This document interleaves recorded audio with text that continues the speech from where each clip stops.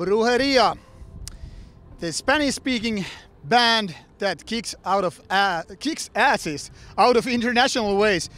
And uh, you know, my Spanish is so bad that I just try to, you know, figure out what to do, do with these guys or uh, guy and gal to be exact.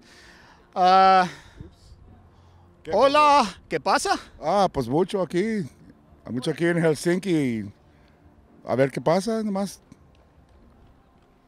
Pues por aquí pasa lo que quiera. Ah. Lo que cae, güey. Lo que cae. Todo bien. and this was already too much Spanish for my, my little poor skills. So, uh, Brujeria is first time in, in Finland, am I correct? Yeah, see? And as you can as you can see, this is not exactly uh, Mexican weather, but you managed to uh, pull out a really really strong gig. What is your secret? Uh, el secret es todo en español, all Spanish. Y love, love to everybody. todo love. Yeah, you, you had lots of lots of uh, emotions too on the stage. Uh, I noticed a really cool uh, "fuck Trump" star, uh, the, the text on on your, uh, but you really give a strong message, and that is al already obvious for fans of the band. But once again, to like make uh, kind of like underline the point, what is all the wrong with Trump?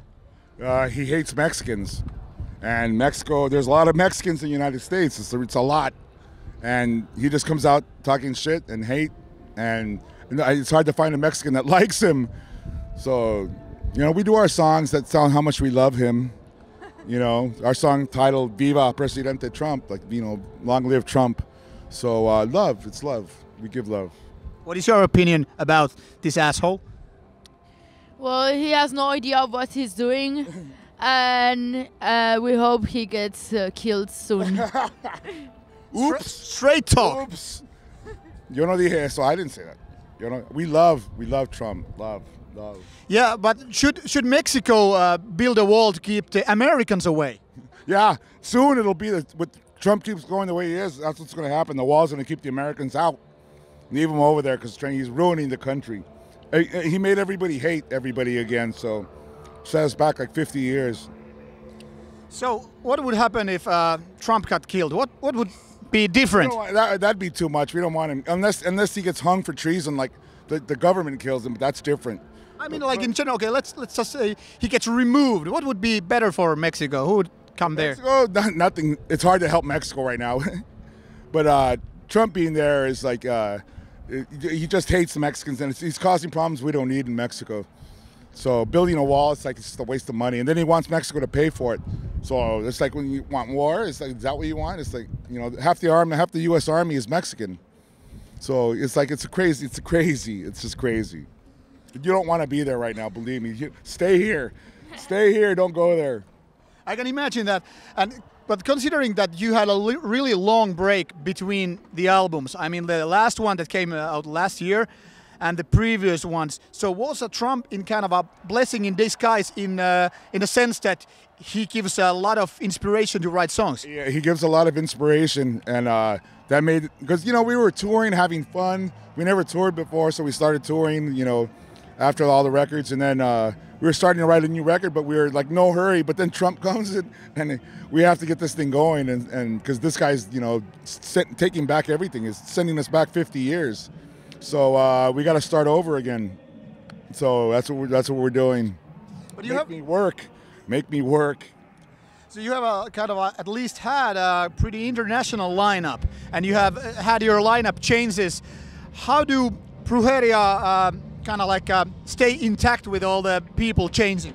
Well, they're always they're all like members of the band. So if some guy can't make it, somebody else does. Like interchangeable. They're they're all like still in the band. We just use different guys, you know, different days. Like last week, uh, Shane couldn't go, so we had, uh, you know, somebody uh, somebody fill in, uh, Embrujado on bass. And so different members interchange, and so we always have our shows. So you never know who you're gonna get. You never know who you're gonna get.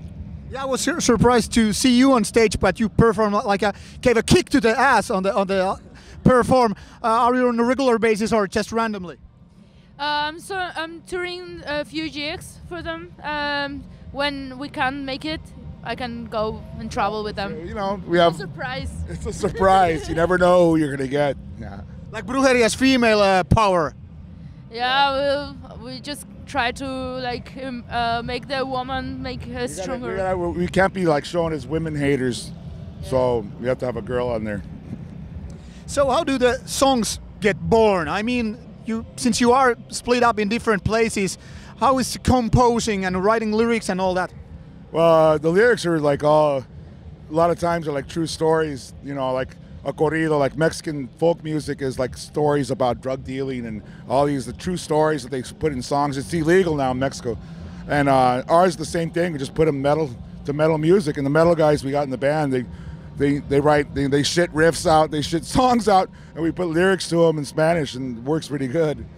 It's a re- really rare combo because I mean, like, um, I don't know why. Maybe you do, but Mexicans don't make that much metal. I know a few bands, obviously, but what is the secret why Latin people don't like Well, play metal music that much? What happens is down in Mexico is uh, they, they start trying to sing in English. They, they do metal bands and sing in English. They don't know English. They just you know, it's Spanish is their language. So you know, we always started Brujeria saying here's an example of Spanish. You know, we do it in Spanish, not trying to make money in English. Because once you do it in English and you don't speak English, you, it's it doesn't work. it doesn't work. So we try to put it in Spanish and show them how to work, but.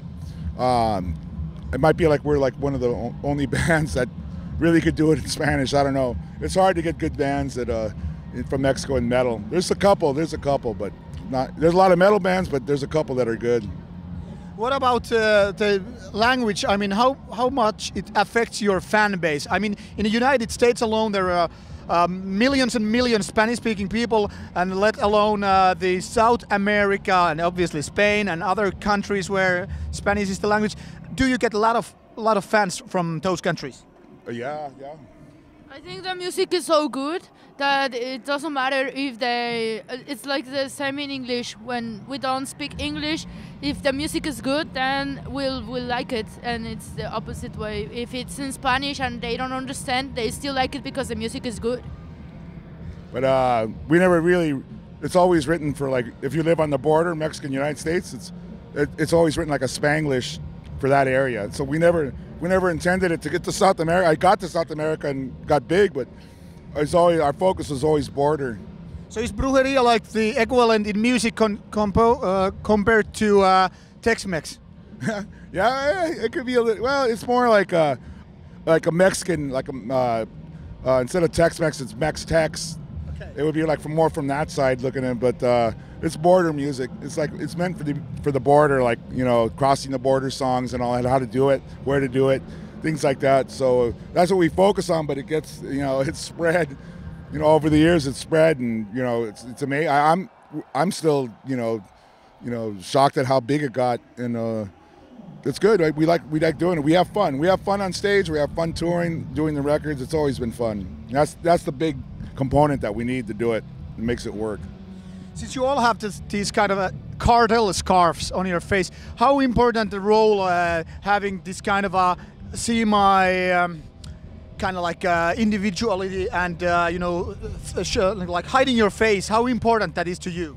Well, it's always been since day one. We got it covered because what we sing about is not going to be. A lot of people aren't going to be happy with it, including a lot of government people. So we always have to hide our face so we can say whatever we want, and uh, you know that's always been the main goal. So of course, there's members that come out saying I'm in the band. You know, you know that that, that we, that's frowned upon. You know, so I never take my mask off. So I'm the only guy that people really don't know. No other band. You know, it's hard to find out who I really am. So mask is always on. You, you also uh, sent kind of kind of like a pro drugs or at least pro marijuana message on the stage. How serious you are about it? Well, yeah, all those the, the marijuana thing in the nine mid '90s, we were pushing it hard because it was illegal then. Now, it's legal anywhere in the United, like in the United States, anywhere you go, it's pretty much legal. So it worked. but we, we in Mexico, you couldn't sing about drugs or marijuana. So we started doing our Mexican disco songs about marijuana and putting them out, and they're huge. And just hoping that marijuana turns legal because it's not as bad. Over there, it was like a big crime. Now it's like you know no big deal. But and in, in the states, it's legal in a lot of states.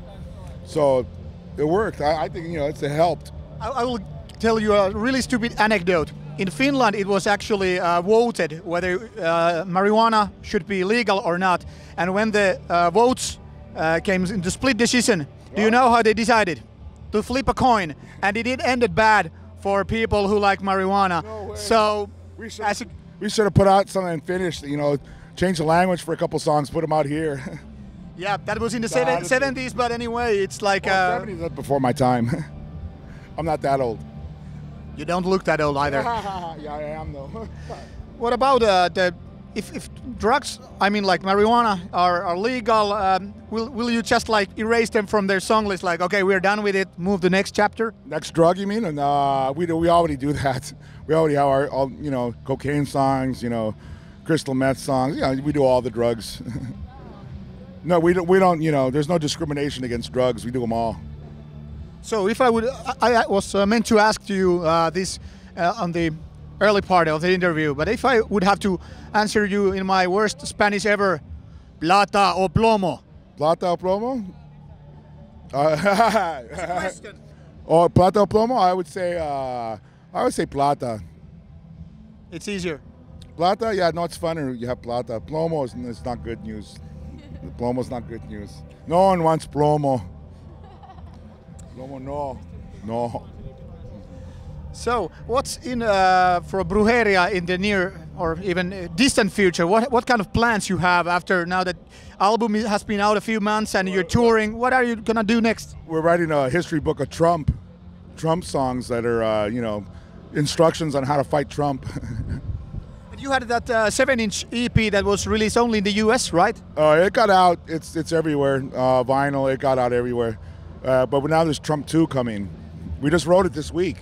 Uh, is it also? This week, Trump 2, Amaricon Czar, It's gonna be a seven-inch also. seven inch. Uh, what about new album then? Are you gonna be a more active uh, now that that? Yeah, yeah, we uh, now that we're, we're in the studio writing every chance we get, so we got half an album already, so it'll be out quick. Will there be an, uh, new new members, or are you gonna keep the current lineup? Uh, there's there's always there's always new members that there's a lot of members that want to be in Brujeria, a lot of band, a lot of guys that want to be in Brujeria. It's hard to get everybody in. We try to get as many as we can, and and uh, it's, it's it's it's been good. It's fun. I'm telling you, the band has a lot of fun, and everybody who's been in it or been you know knows you know been part of it, they always want to you know do playing Brujeria and stuff. We try to get them in. There's different. You'll see different guys up there on stage here and there. So the lineup on, on live will be uh, different as well.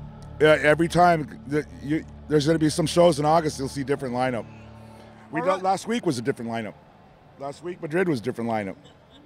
What about uh, more live elements? I was surprised to see like uh, like the C or no, the, the We try to teach Spanish, teach Spanish, you know, with our songs and helping, you know, with the signs.